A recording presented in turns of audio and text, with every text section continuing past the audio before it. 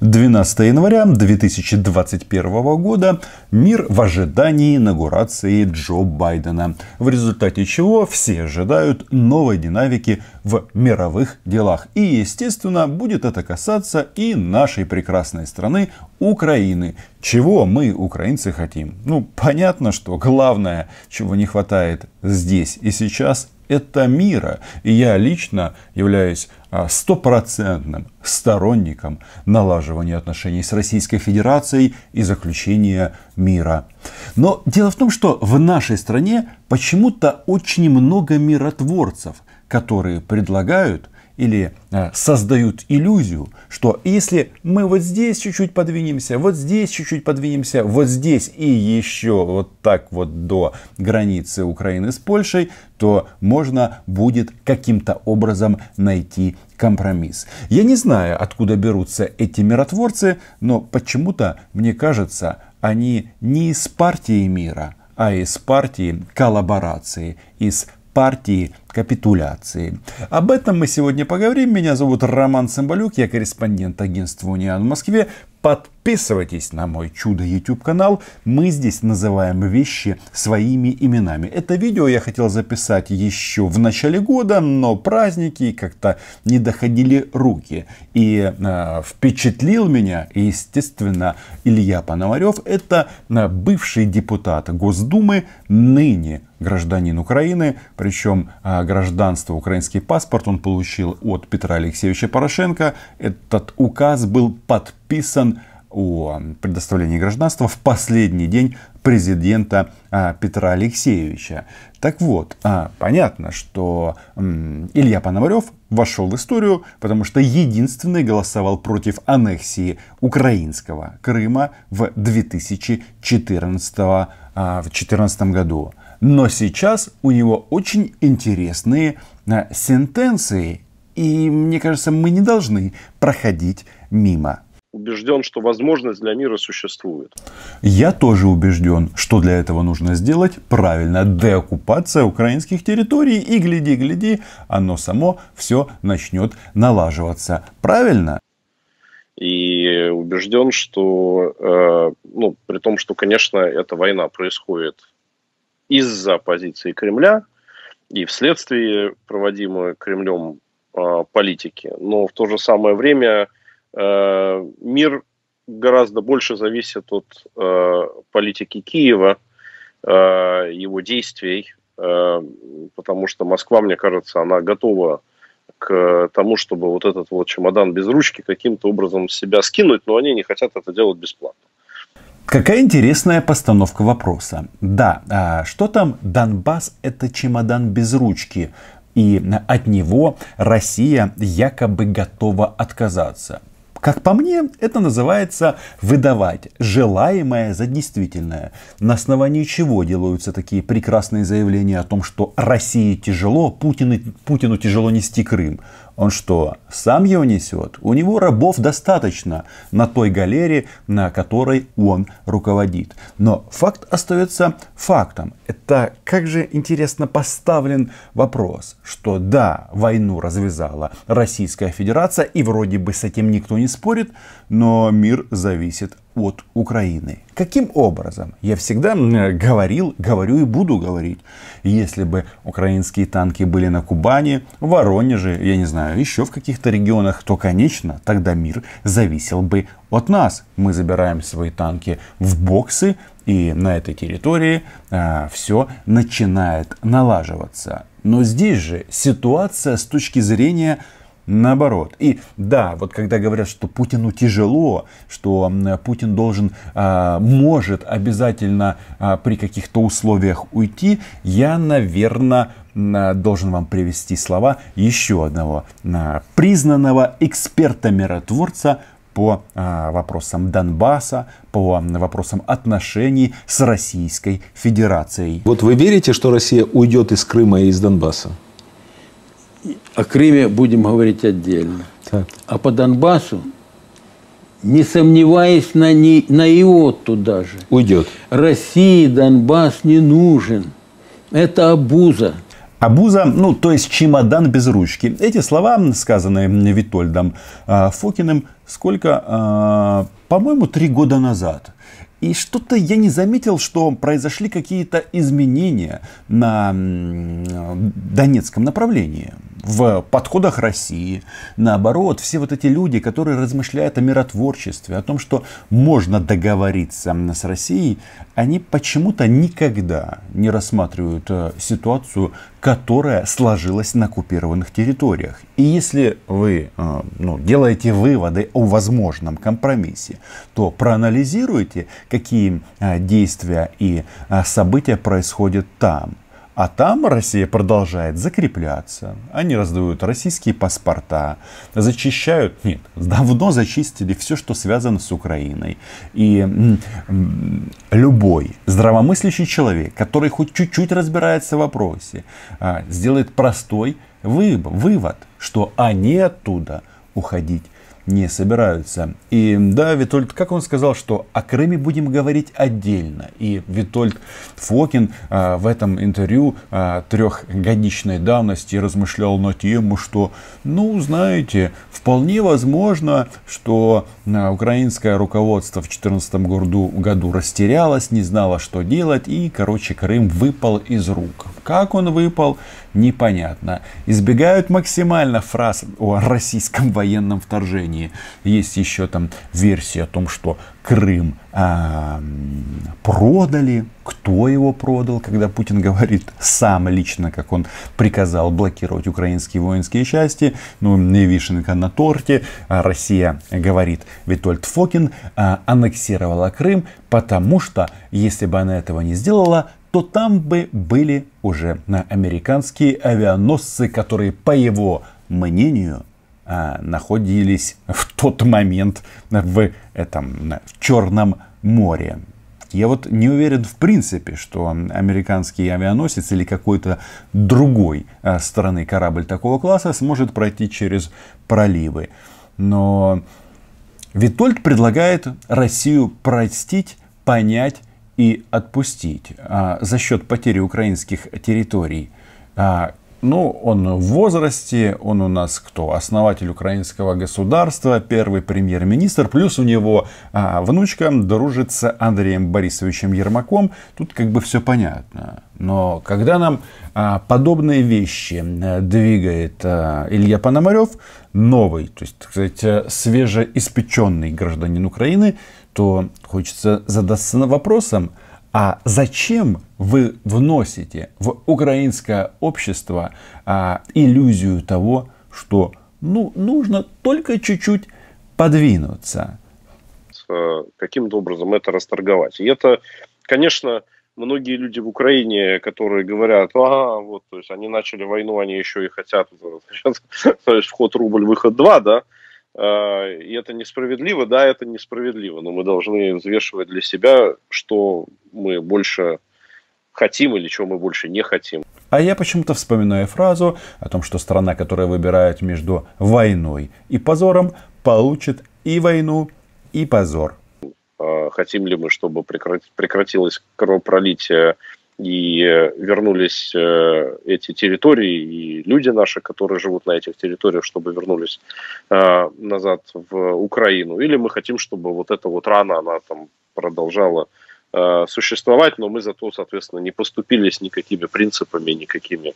То есть Украина должна подвинуться и искать компромисс с Российской Федерацией. Но ведь мы хотим, а, вроде как, вроде как в результате мы получим и территорию, и а, людей. Я вот думаю, а кто вам сказал, что Путин в принципе собирается отдавать контроль за границей. В принципе, эти гауляйтеры, которые сейчас а, тусуются в Донецке, они в таких ситуациях, а, даже гипотетически размышляя о Минске, говорят, что а, в результате реализации Минских соглашений будут а, пограничники оккупационных администраций стоять на границе. Ну, в общем, а, ничего общего это с здравым смыслом, естественно, не имеет. Думаю, что э, мой личный выбор, да, то есть он первый. Э, я считаю, что худой мир, он лучше доброй войны. Я считаю, что человеческая жизнь, она стоит выше Э, любых идеологических вещей. Выше любых идеологических вещей. То есть, э, что предлагается? Предлагается впустить русский мир в Украину ради спасения жизни людей. Именно это. Кстати, вот я почему-то вспоминаю результат а, борьбы за независимость столетней давности. Украина тогда проиграла, а, была создана УССР, Советский Союз.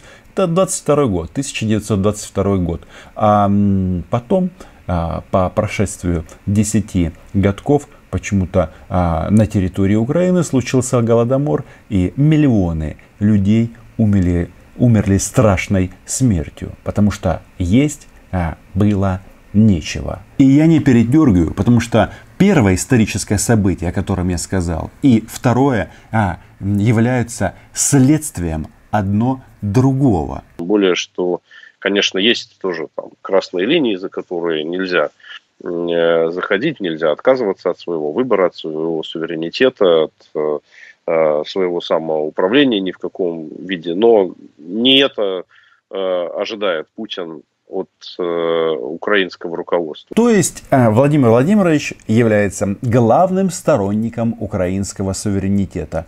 Я правильно понимаю? Ну или как?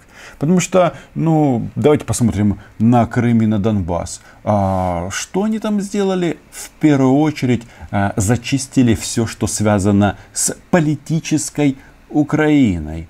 А теперь нам говорят, что да нет, Путин не ожидает этого. Не поэтому он молился за бойцов, защитников Новороссии в 2014 году, а, да, в храмах РПЦ. Ну это так, совпадение. Он ожидает компромиссов в области э, языка, он ожидает компромиссов в области амнистии.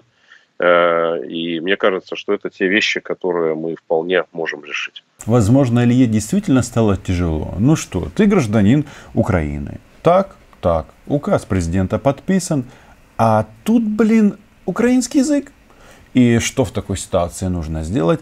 Нужно предусмотреть механизмы для того, чтобы можно было говорить по-русски. Без проблем. То есть даже не так. Говорить по-русски и так можно. Для того, чтобы не нужно было учить украинский язык. Вообще, когда я вспоминаю вот эти вот истории о языках, так это опять же 14 год. Есть соответствующее заявление МИД Российской Федерации а, о том, что они хотят статус русского языка, они хотят а, федерализацию. Да-да, а, смотри, а, как это выглядит по-русски. Федерализация Украины – это когда граница между оккупированным Донецком а, и оккупированным Луганском. Причем и Луганск, и Донецк оккупировала Российская Федерация. А между этими двумя городами а, граница. Из а, хотелок а, Российской Федерации, естественно, это никакого НАТО, и никакого Европейского Союза. И здесь возникает вопрос, а зачем же Путину амнистия? Для кого это амнистия? Опять же, речь, а, понятно, русские будут пробивать для всех, для тех, кто и убивал граждан Украины, для тех, кто воевал с российским оружием а, в руках в российской военной форме, то есть о коллаборантах. Но не они главные. Главное, чтобы люди, которые уже сейчас а, кайфуют с российскими паспортами, а, обслуживают оккупационные администрации, чтобы они могли избираться в органы власти в нашей стране. Ну, во-первых, язык и вопрос амнистии для боевиков Почему боевиков? Для коллаборантов, естественно, а, если он будет поставлен в, на повестку дня в Украине, приведет к социальному взрыву, беспорядкам, и та власть, которая на это пойдет, а, вряд ли усидит. Ну, Илья Пономарев, он не во властных кабинетах может об этом говорить. Но, слушайте, а, еще раз, теоретически допускаем, что коллаборанты которые на службе Путина будут баллотироваться и избираться в органы власти в свободной Украине. Это при том, что на Донбасс Украину никто не пустит. А чем эти люди будут заниматься? Как раз блокированием таких прекрасных а, внешнеполитических инициатив, как НАТО и ЕС. И вот такая цена мира, который предлагает нам Илья Пономарев.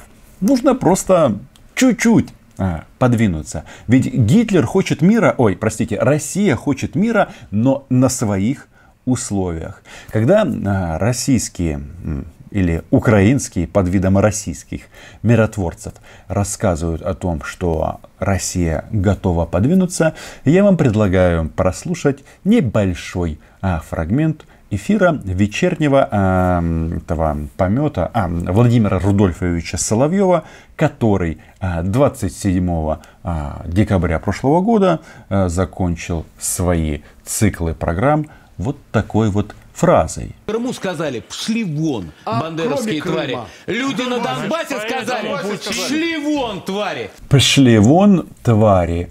И это вообще-то адресуется нам. И я вот думаю, если на самом а, популярном российском канале, а Россия-1 это самая большая у него доля в эфире, говорят нам, пошли вон из Украины, а речь идет именно об этом. Кто-то видит э, здесь вот это желание э, найти компромисс с Украиной. Хорошо. И люди в русскоговорящих регионах еще не раз скажут «твари». Ну, в общем, э, нацистская Украина, все это понятно. Но что там было сказано? А, русскоязычные регионы скажут нам, украинцам, пошли вон, пшли вон. Они почему-то считают, что на русскоязычный значит дебил. Я к такой категории аналитиков не отношусь, потому что не секрет, что у нас большая часть нашей страны говорит на русском языке. И следующее видео, оно тоже будет посвящено этой теме. Но, знаете, а, лучше быть русскоязычным в Харькове, чем русскоязычным а, в Донецке. В чем разница? Ну как, ты живешь в цивилизованной стране, ты голосуешь, никто тебе не забирал у тебя право голоса, свобода передвижения. Сейчас за, закончится корона, можно будет летать на самолете и так далее, и так далее. А, ну, комендантский час, э, понятно.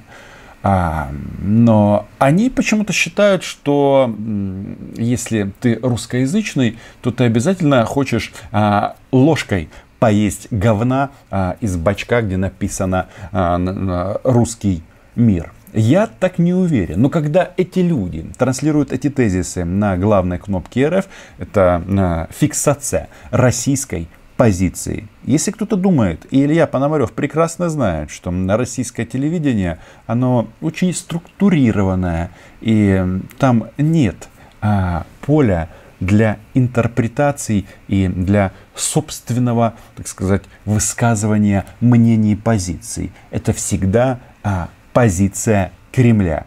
На этом наш воскресный вечер подошел к концу. Это был итоговый эфир в нынешнем очень непростом году.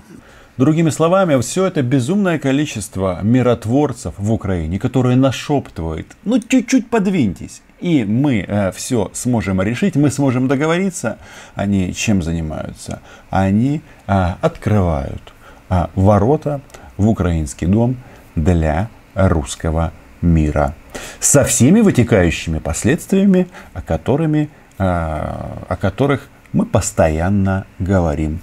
Подписывайтесь на мой YouTube канал, читайте наше агентство Униан. А, большое спасибо моим патронам и патронессам за то, что вы поддерживаете а, прекрасный канал с поэтическим названием Роман Цымбалюк гривнями, рублями, евро и другими прекрасными валютами. Чао!